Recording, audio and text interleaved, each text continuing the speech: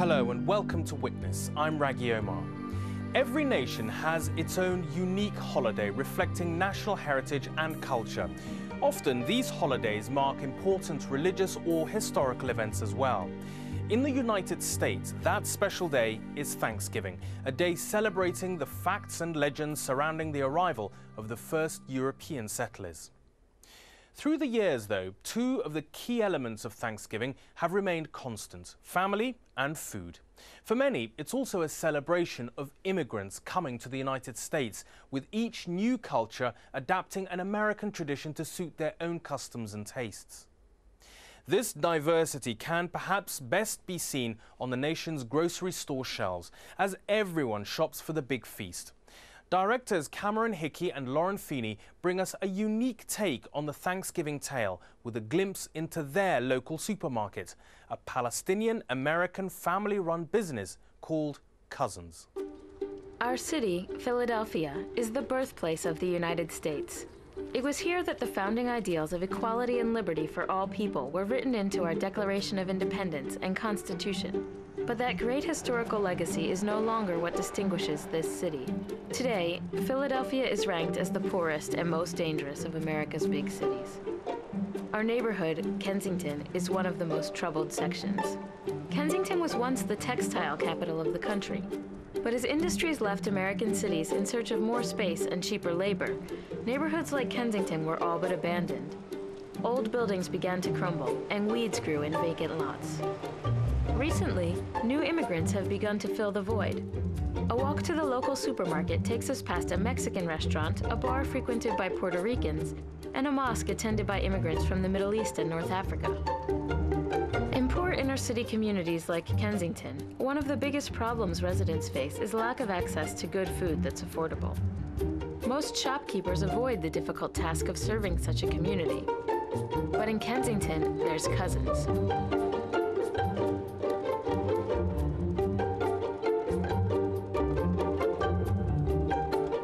Adib Ibrahim is the manager here. He says that the only way for a family run business to survive is to serve the local community in ways that big corporate stores can't. Being that you're an independent supermarket, you need to know what the needs of the community are. You have to know your customers, know what they're looking for. You have to, you know, relate to them. Adib can relate to the people of Kensington because his family has lived here since they left Palestine more than 40 years ago. We always say, we always joke to this day, Dad, why did you come to this area? But now we love the area. It's home for me.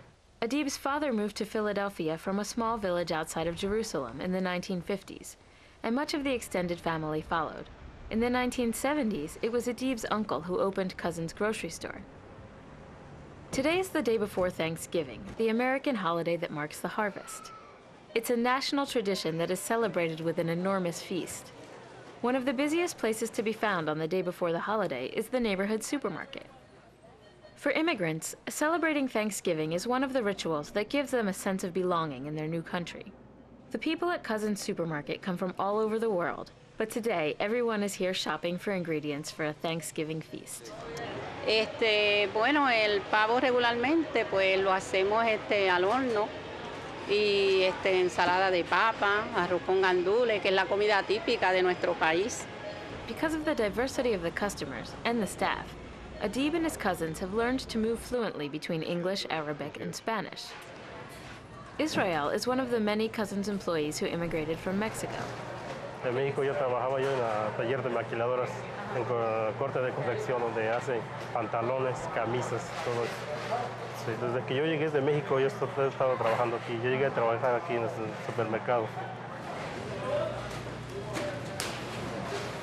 Estamos muy contentos, por mí, por mi parte estoy contento con ellos, porque yo soy que necesito el trabajo siempre.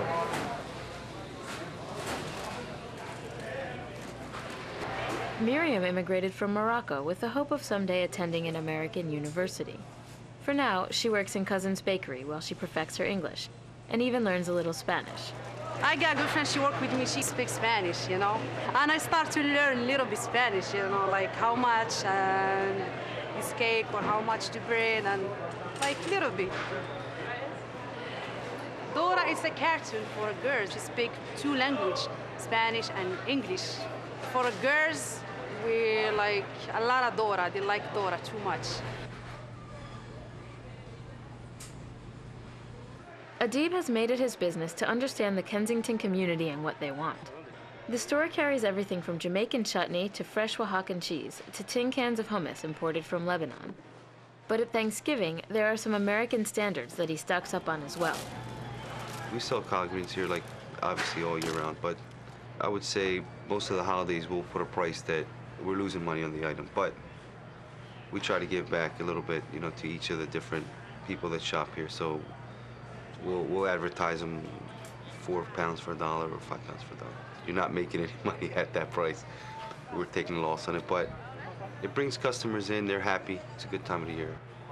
Collard greens are a traditional soul food dish that African American families brought with them when they migrated to Philadelphia from the American South.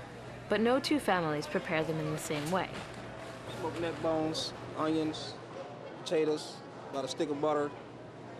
I like pork. I don't like turkey in there. A little hot sauce, because I like mine to be kind of spicy. My family a little different. We like them a little sweet, so we put a little sugar in there with green peppers, red peppers. Lemon pepper, I use crushed hot peppers, garlic, paprika, and a little bit of turkey meat. Black pepper, MSG, sugar, and cooking oil.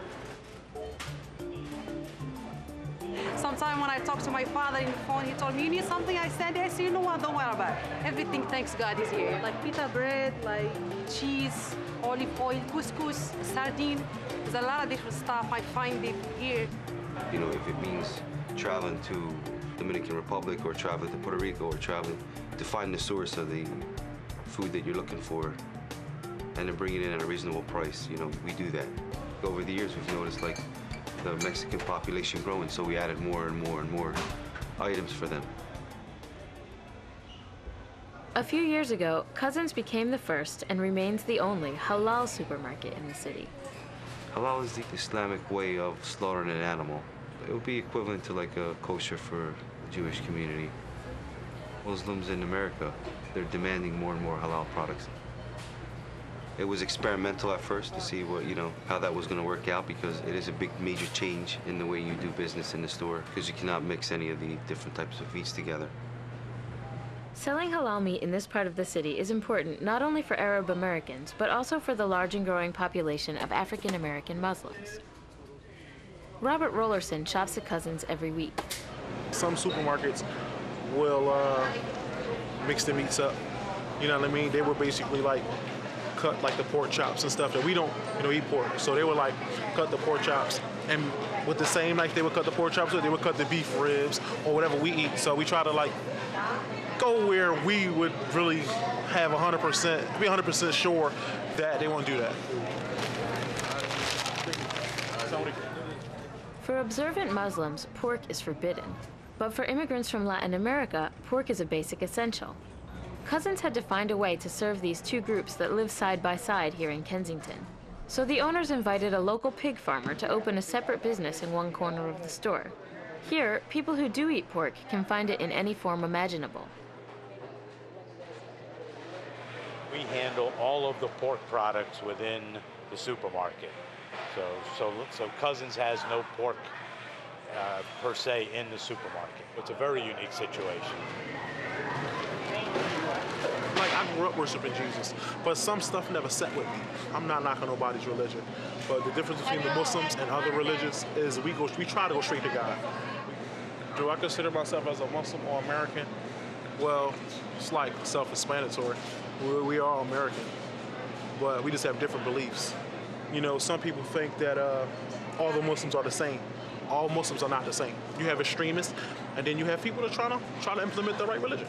I think uh, we felt a lot of racism uh, after 9/11. Uh, you know, although I am, you know, American-born and you know raised in this country, I think I'm just as American as everybody else.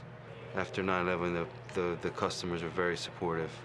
The the entire neighborhood was very supportive because they know us for 35 years. There is some extreme Muslims that paint a bad picture for everybody. That's true. I mean, that's not who we are.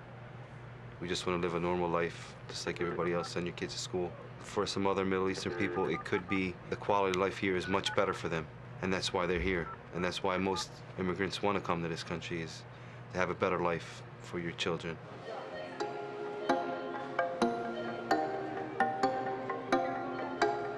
To prepare for the big holiday feast, Adib has stocked the store with specialties for every cultural taste.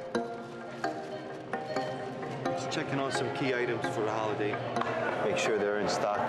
He quickly discovers one item that is in short supply. Yellow cheddar is a key ingredient in another holiday essential.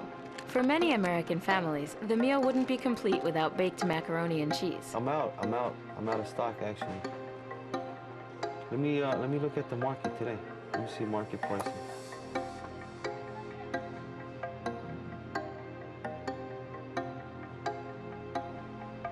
Barrel. We uh, underestimated how much cheese we're going to use.